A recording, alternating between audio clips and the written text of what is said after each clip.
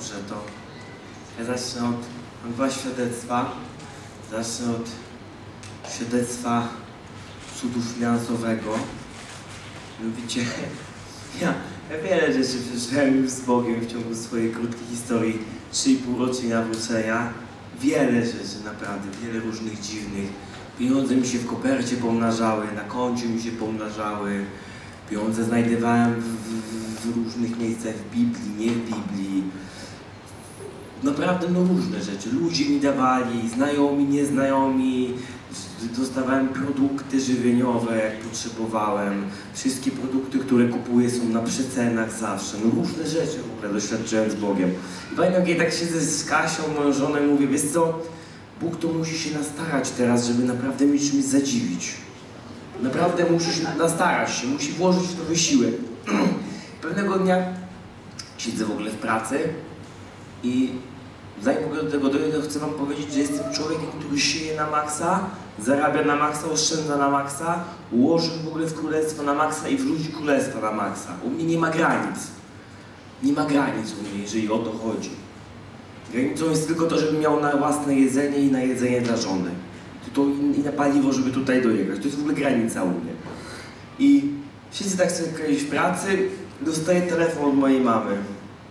Wiesz co, słuchaj, ty masz w ogóle swoją obrączkę na palcu? Ja mówię, tak patrzę, mówię, no mam. A Kasia ma swoją, mówię, no, no ma, no ale o co ci chodzi? Z, czym jest problem? Bo obrączkę znalazłem twoją u mnie. Mówię, kpisz sobie ze mnie, to jest niemożliwe.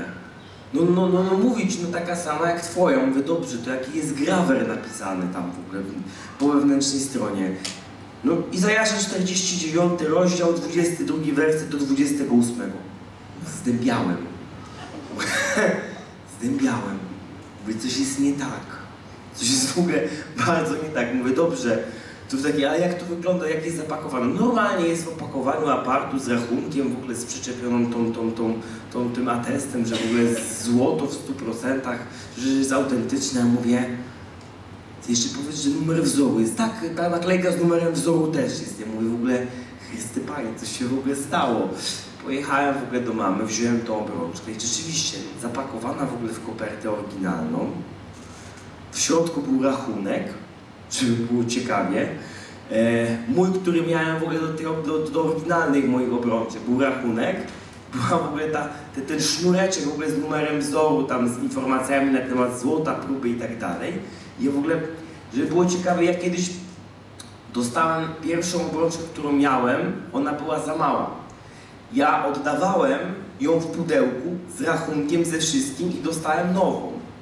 Taką, jaką mam na sobie, numer 16. I pamiętam, że byłem z Kasią wtedy i razem oddawaliśmy tę obrączkę. Więc to w ogóle nie było opcji, żeby, żeby ten towar nam się gdzieś zakupił. Bo my oddawaliśmy ją w pudełku z rachunkiem i dostawaliśmy jeden na jeden, tylko że rozmiar większy. Ja ją w ogóle patrzę, przymierzam ją, ona w ogóle ten sam rozmiar. Nie to, że rozmiar mniejszy, większy, ten sam. W ogóle Bóg mi rozmnożył obrączki w ogóle. Dostałem dodatkową, a dostałem dodatkowe, dodatkowe środki w postaci złota.